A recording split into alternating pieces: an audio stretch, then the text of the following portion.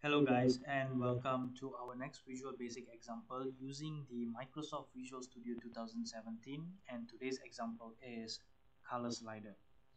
So in this example as the name suggested we will we will be using color slider and we will be using the sliding action to manipulate the colors uh, of a control.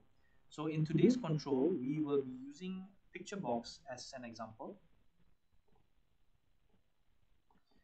So what you need to do is you need to put the picture box on the Windows form.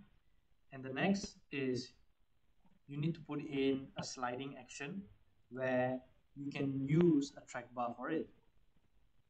So once you have already placed the track bar on the Windows form, um, you also need to understand that the color range actually from 0 to 255 so you need to change the value of the track bar uh, the maximum value to 255 so once you have put the trackbar on the form, you need to change the trackbar name to red.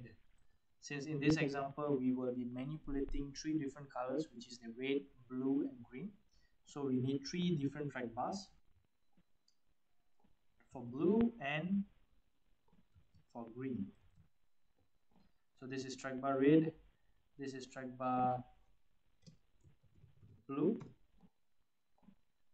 and this is for track bar green. So once you have this let's put in a label for each of the track bar so we can see what are the values corresponding to this.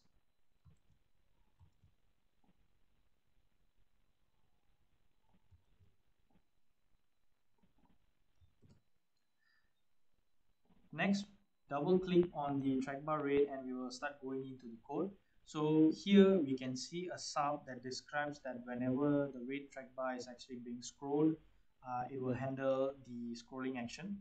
So in other words, whenever we try to uh, scroll the red trackbar, uh, it will actually generate a value or integer which will be used to represent the, the red color of the picture box. So to do that, let's call the picture box design name, which is the picture box one, since we have never changed the design name. So this is picture box one, and we want to manipulate the back color. So this is the back color, and we need to call the uh, structure class, which is the color. We call the color, and we need to use the method called from argb. In this method, you will notice there are several ways of you manipulating the color, but we will look into the method uh, number three, which is the red, green, and blue. So we will be manipulating three of these base color using the track bar value. So for track bar red, we just need to put in the value for track bar red and value and we need to put this to string of course because it's an integer next is green so we need to put track bar green value to string. Do the same for track bar blue, blue dot value to string. And since we have already put the label 1 beside track bar red, so we need to get the value of the slider as well. So for label 1, text is of course equals to the track bar value to string. So this is for track bar red and we need to do the same for track bar blue to manipulate the color blue. You can just copy the code upstairs and put it down and you put it to 2 and of course this is blue. Do the same for green and of course you put this label tree and track bar. Green. So let's see if this is correct blue and green. And of course this is red blue red green and blue. Okay. So I guess there's been a misarrangement. So I'm just gonna move this uh, here upstairs downstairs. And okay so this should work.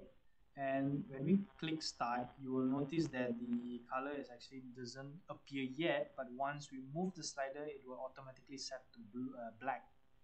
So let's do this and when the application run you can see that the values are not being set yet because we have not moved the slider.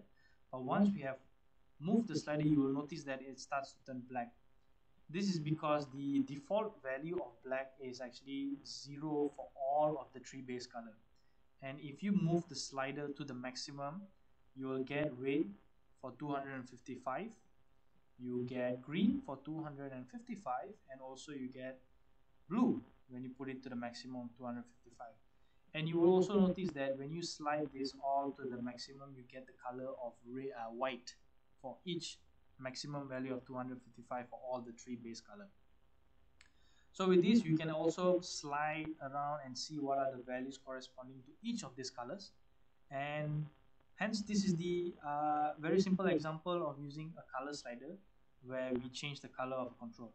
You can also try this for different uh, controls like buttons uh, uh, labels and, and etc but of course this is a, a very simple and straightforward example of using a color slider so if you guys have any questions of using uh, Visual State, uh, Visual Basic, or you have any questions on how to implement certain things, uh, please drop your comments in at the comments below and let me know. And also please uh, click to subscribe my videos.